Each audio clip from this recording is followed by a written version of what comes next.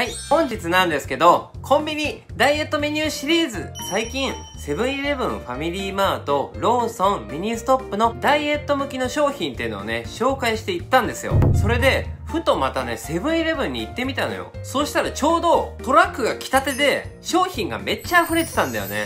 そうしたら、すごく魅力的な商品がたくさんあったので、今回はセブンイレブンのダイエット向きの商品を紹介します。早くもまたやっちゃいます。もっと前にもやったので、もうこれで3週目だね。見てない方はね、以前の動画もね、ぜひ見てみて。コンビニダイエットシリーズっていうね、再生リストも作ってありますよ。じゃあそれではね、つべこべ言わずに始めていきますか。今日は新発売の商品ばかりです。いきますよ。レッツゴーはい、いきますよ。まずはこちら。はーい。まずはこちら、タンパク質が取れる、おろし豚しゃぶサラダ、すだちポン酢入りでーす。新発売。はい、そうなんです。こちら、こちら、タンパク質が取れる、おろしの豚しゃぶサラダ、すだちポン酢でいただくようです。豚しゃぶとおろしとすだちポン酢。これすっごい夏向けだよね。早速見ていきましょうね。レッツゴーはい、じゃあこちら早速開けていくよ。レッツドンはいこちらね。豚しゃぶがたっぷり入ってますね。大根おろしもたっぷり入ってます。こちらのすだちポン酢をかけていきます。うわーいいね。いいね。いいね。はいすっごい美味しそうになりましたね。サラダもねお肉もね一緒にいただきたいと思います。いただきます。うん。最高。これはめっちゃ肉が感じられてすんごい満足できる。しかも爽やか。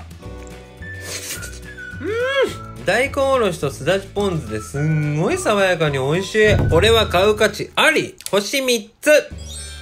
いやー、美味しそうなサラダでしたね。じゃあ次の商品行ってみます。レッツゴーはい、続いてはこちら。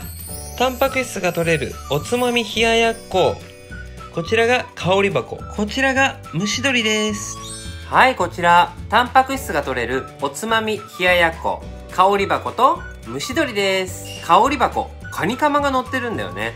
あとこちらが蒸し鶏が乗っているタイプです。低糖質高タンパクの商品になっているんで、早速見ていきましょうね。いきますよ。いってらっしゃい。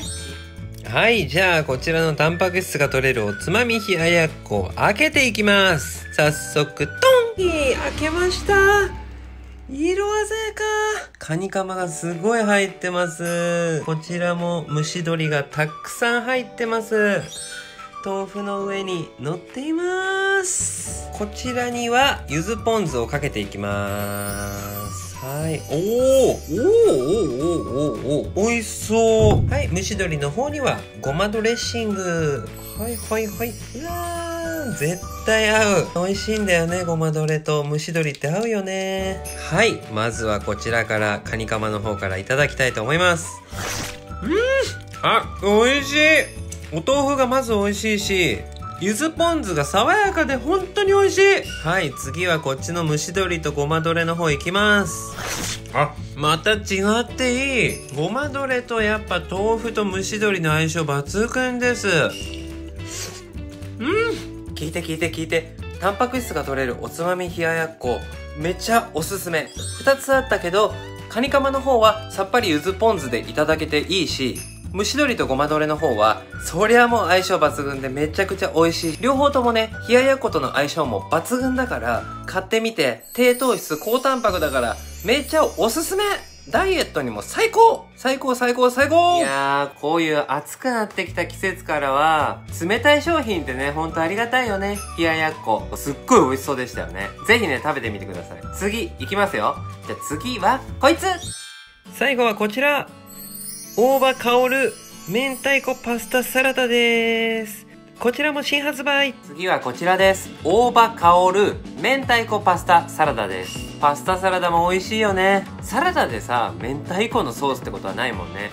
明太子スパゲッティとか明太子パスタはあるけど、明太子パスタサラダ、一体どんな美味しさがあるんでしょうか。早速いきます。食べてらっしゃい。はい最後にこの大葉香る明太子パスタサラダいっちゃいますか。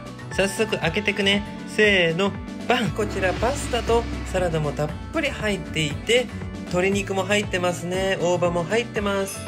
早速こちらに明太子のソースをかけていきます。明太子ソース色鮮やか。いくよ。うわーすごっ一気に来たね一気に来たね。色鮮やかになりました。うん早速いただきます。もうすでにね明太子の匂いがねすんごい広がってね美味しそう。いただきます。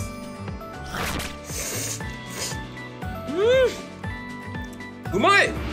はい。大葉香る明太子のパスタサラダはねめっちゃ美味しい。パスタサラダって舐めてるとパスタの麺が美味しいよ。しかも野菜もたっぷり取れて大葉もすごいアクセントになってます。新発売のメニューで本当に美味しかったです。それではスタジオにお返しします。はい。いかがだったでしょうか？今日はダイエット中セブンイレブンでこれ買ってっていうダイエットに向いている美味しい商品をたくさん紹介していきました。今日はね全部新発売の商品でしかもダイエットに向いている商品をご紹介できました。コンビニって行く時間によって品揃えがやっぱり違ってきたりしてしまいますよね。いろんな時間帯に行くことで新しい発見がねたくさんあるんでね。いやーコンビニのダイエットメニューってのはねまだまだ奥が深そうです。引き続きこれからも調査していきます。はい。今日の動画が良かったよ。参考になったよ。食べたいメニューありましたと思ってくれた方はグッドボタン。これからもダイエットの情報や生活に役立つ情報をたくさん発信していきますんでよかったら見逃さないようにチャンネル登録もよろしくお願いします。イェイこれまでもダイエットの動画たくさん上げてますんでね、ぜひ見てみてください。インスタグラムでダイエットアカウントもやっているんで、説明欄に貼っておくんで、ぜひね、そちらにもね、遊びに来てください。いつもありがとうございます。これからも応援よろしくお願いします。では本日は以上です。また会いましょう。バイバーイ。